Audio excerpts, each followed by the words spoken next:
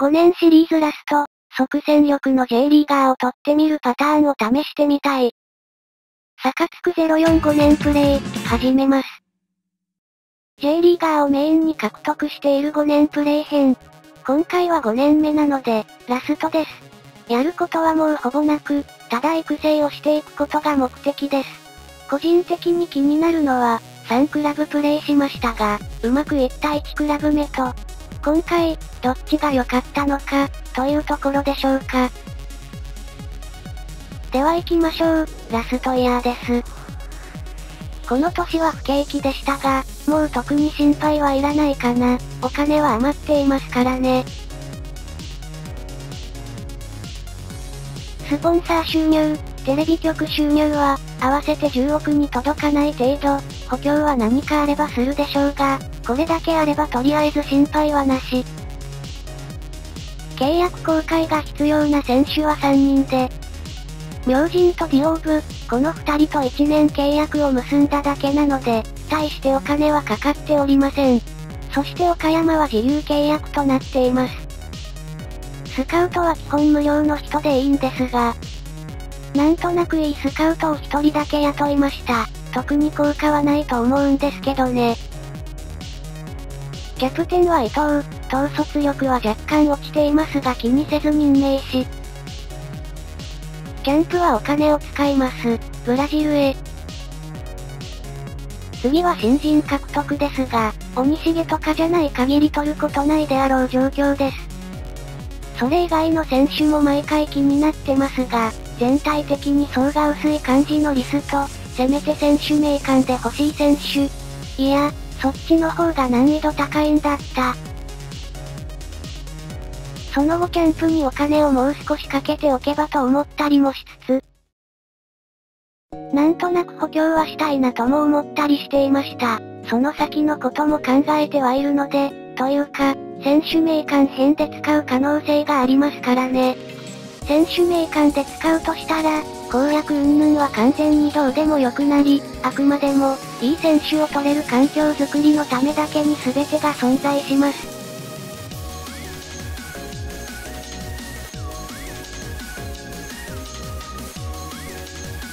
というところで開幕へ、スタメンはもうほぼ変わらないでしょう。松井大輔に頑張ってほしいんですがどうなるか。結構大きいとは思いますが、ベテランが多いので育成力が果たしてあるのか。キャンプの効果はあるのか、なんとも言えないですが、12月に伸びていればいいです。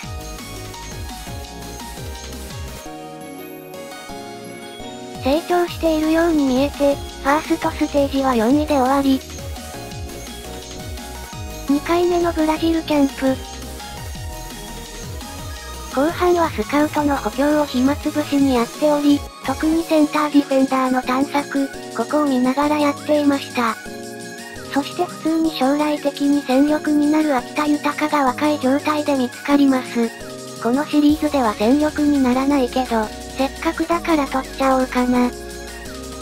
他にも即戦力レベルの選手がいたので、あわよくば今のディフェンダーより上だったらいいなという思いもありつつ、米山敦史、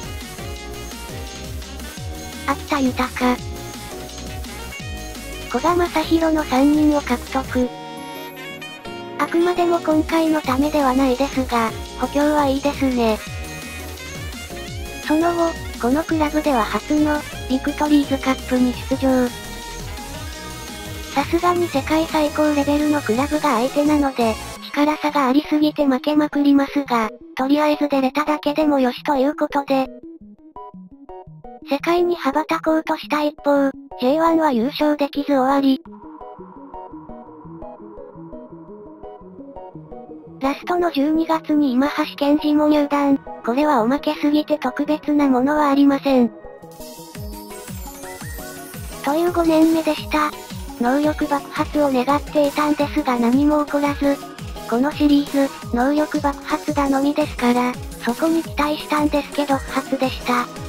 人はやたら増えましたが、スタメンはあまり変わっておりません。高松大輝か松井大輔が入れ替わるというだけです。まずは個人の成長、スタメン組を中心に見ます。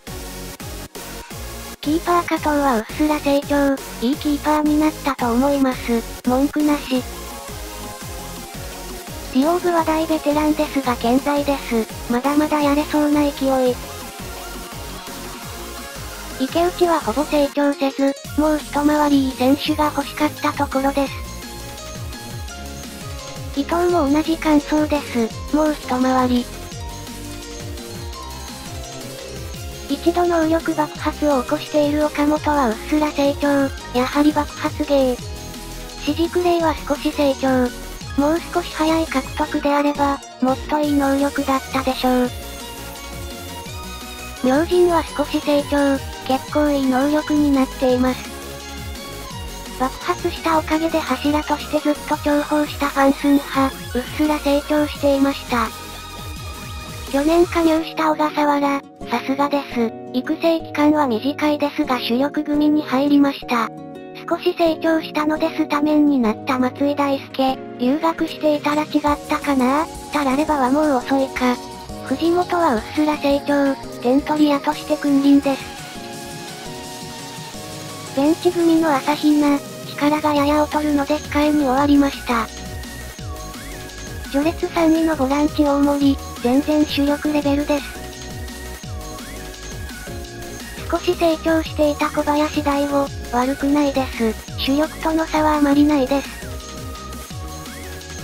古賀から小川まで、ベンチ組、しかも今回は厳しいということでここは早送りで飛ばし、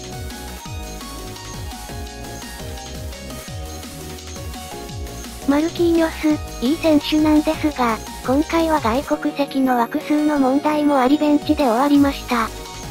松井大輔に敗れベンチになった高松、悪くはないですが難しいところ。